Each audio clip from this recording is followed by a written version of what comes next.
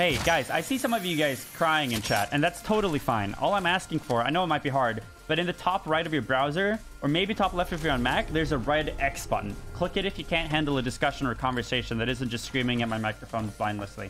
Because we actually do have serious conversations, discussion. I, I voice a lot of my opinions regarding balancing, game design, and overall game philosophy, and especially enough for esports and competitive communities and overall building and enabling the growth of the game.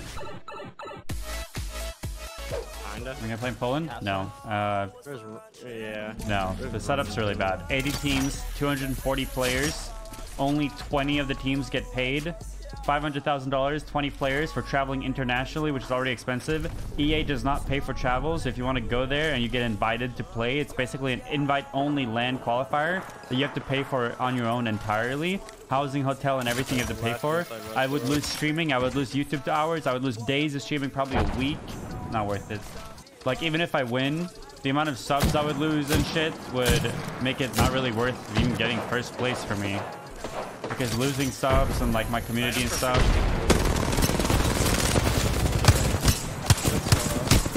Dude, I I can hit that. my community wants me there. I know. That's why it sucks because I want to be there. My community wants me there, but it's not worth it. It's unfortunately not how Twitch works. You lose subs anyway. You lose viewers. Blah blah blah. It's just, just normal. It happens. There's no way to avoid it. Taking time off as a streamer is really bad. And I already took two weeks off for moving across the country, and I wouldn't take another week off so close to this. Not worth, unfortunately. Think of it as an advertisement? Yeah, I can think of it as an advertisement, but then the only comparison is that it's a bad advertisement that's not worth doing, and it would take time out of my life, and I would lose money on it, and it wouldn't help me grow as a streamer, unfortunately.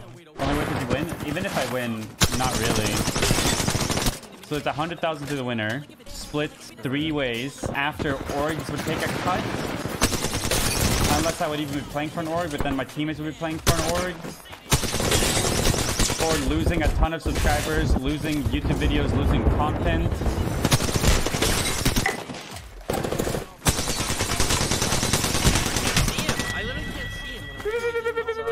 If you get first place, might be worth it. But then, only 20 teams get paid. And how many go there? 80. 240 players. And you have to be in the top 20 teams out of those teams, right? To even get paid at all. You have to go through all of it. You have to go through all of the the qualifiers to get to the 20 to even be in the money, and then beat the best teams in the world Hello? to lose streaming for international travel, lose view YouTube, lose Oh, subs, plug in my not being able to stream anything for you. The money doesn't make sense. The time doesn't make sense. How much I care about my community and then taking that time off just to do that doesn't make sense. It sucks. yeah, leaving America and re-entering is just like I can do it. It's not a problem, but it's just really a I don't know if hassle and takes a long time.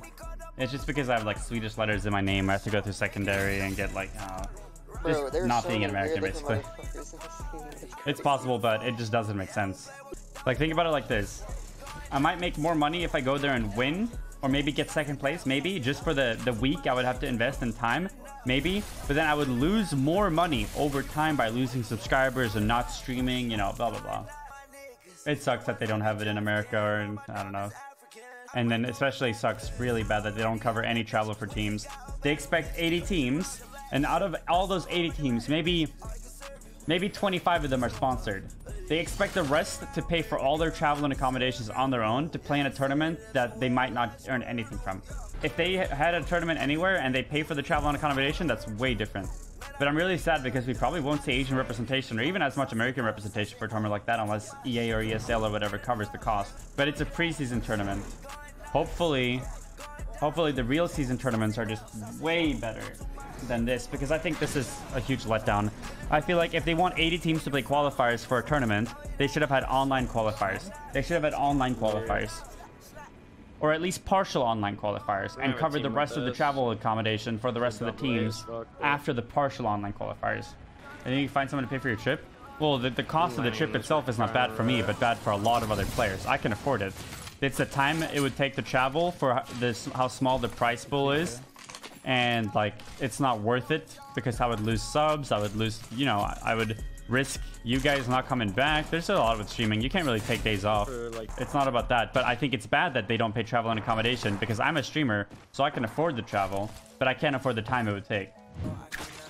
But also, see, I like I want this game to be very international, and international tournaments are not about location, but rather about international representation within the community.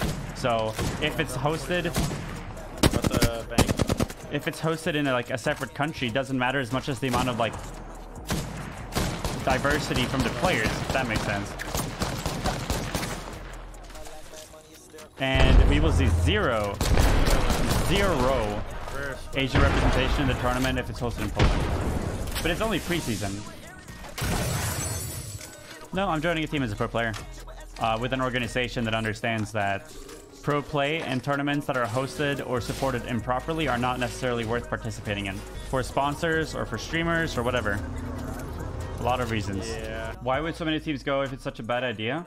Because they're all gonna try to like reach to make it. They all want to get signed, you know. They want to grow their streams, and they're gonna bet out the money to try to like pursue that stuff, right?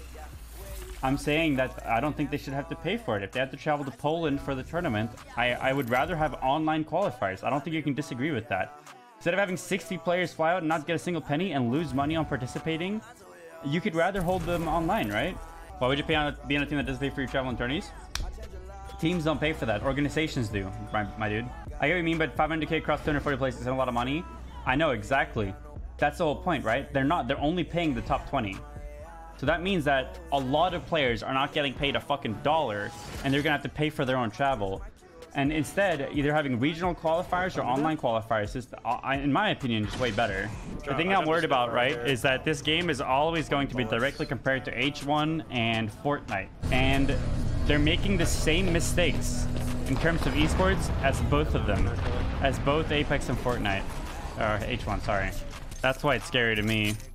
I think regional qualifiers, if they want them to be local, or online qualifiers, partial online qualifiers, providing you know travel if they want to hold the land, stuff like that. I think those are like things they should really push to be hard.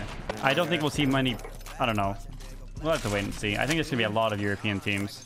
This is not Fortnite. This isn't the World Cup. Do you guys see the viewership for other tournaments in this game? The only viewership that has been good for the like the only tournaments and the, the leagues that have had good viewership in this game has been when streamers have been streaming the game, not necessarily pro players participating. It's been Dizzy and Ace and me and King Richard. That's the viewership. When the game grows, and if the game becomes to a similar size or a bigger size of Fortnite or other games, that's when these things matter more. Shroud, yes. Vis, Ninja, absolutely. This is not Fortnite World Cup.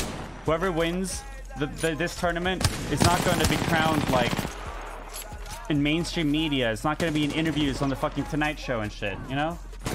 That's the only way to get the game to grow. They need to do something. Absolutely, I totally understand you. That's exactly as I can say it again, so maybe you'll understand it. But that's why they cannot make the same mistakes as its comparative titles. So there are games like this game is compared to Fortnite. This game will be compared to H1. This game will this game will be compared to other BR games because BR is a genre, right? That's how they compare them. So, unfortunately, you you can't just do whatever you want when other titles that you compare the game to do things either better. And then if those other titles make mistakes, you can't do the same mistakes. And that's what's been happening, you know? That's the thing. If they want to grow the game, which they had a massive launch season one, and then they fucked up really big for season one and lost a huge part of their viewership, a huge part of their player base, right? So if they want to grow the game, they can't do what hasn't been working, right? At the end of the day, they'll get 80 teams there, and it'll be good for exposure, and it will give them some EXP to improve things for the actual season. That's the thing, right? It's preseason, so this one doesn't matter that much. We'll see X Games viewership. Hopefully it's good, but if it's not very good, that would suck. Because then the preseason one is probably not going to be good either. If you think of marketing, you think of all these things, right? I will give you two scenarios, and I will give you two realistic scenarios. There's a game that exists in the world that when they held tournaments, they held tournaments in client in a way that was easy for the average player to understand and watch. They held qualifiers, in client tournaments, you know, stuff like that. So you can play the game in the game. You can watch people play the game in the game. And then there are tournaments for another game where the only way to qualify is by screenshotting your kills and then sending those screenshots in.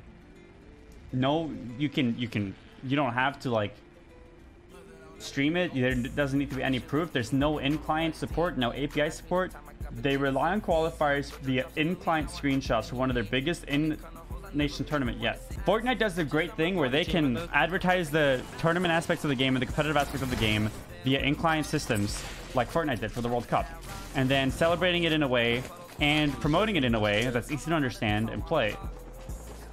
With a pretty simple format for a game that's really big, right? But instead, you know, they had online qualifiers for viewership where their biggest streamers and biggest pro players and biggest names can all participate in the qualifiers from home and if they have another job because I'm not paid by Apex. Apex doesn't play me, you know? It's not like they give me money to play their game.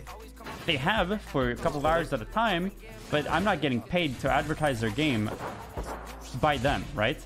This is my living. I make my living doing YouTube, doing Twitch. You know, I've been doing that for a long time. Oh,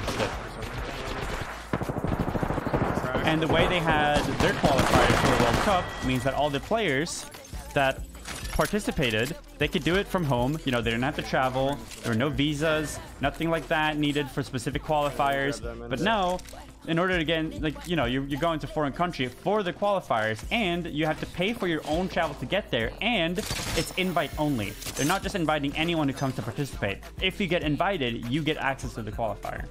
And, you know, it's different if you compare this game to League of Legends or Counter-Strike, where the risk in playing tournaments is way different, but this game is a BR game. There's randomness, you know, there's variables, there's... It's a battle royale game. There's a lot of players that need to go, right? And then forcing people to play the, the qualifiers for the game offline is nowhere near as safe and good as doing it offline. I don't think there's any way to agree with that.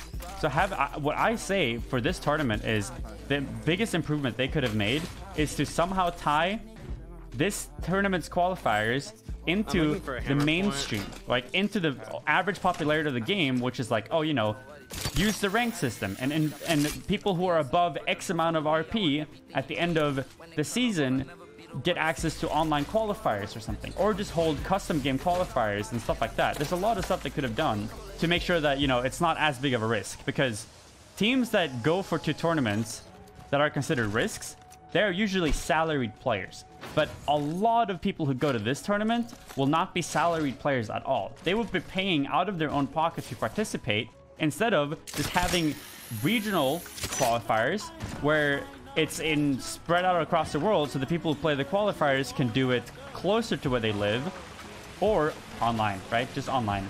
So obviously doing online is better because and more respectful and I also think more competitive. And uh, for me, that part isn't a problem for me. Like I could afford my own flights. Uh, I would probably find a sponsor that would, even if not an organization, I could easily find a sponsor just like, hey, wear our t-shirt there and we'll pay for your flight, shit like that, you know, because I'm a streamer, you know, I'm a community name. I think a lot of players are going to be able to do that, but I also think a lot of players aren't going to be able to do that. It's not meant to be fair when the main projective is to promote the game. Exactly. And what is the biggest complaint about Fortnite esports? The most dominant BR esports in the world is that they only use their competitive scene to promote their own game. Imagine if Apex, another BR that popped off, handled ranked and stuff to build their viewership and player base. It's not meant to be fair that they to promote the game. And if it sucks feeling like, oh yeah, this tournament is happening as a promotional activity. But imagine if they come out and like they advertise how seriously they take this. You know, they're really serious about treating their players right different.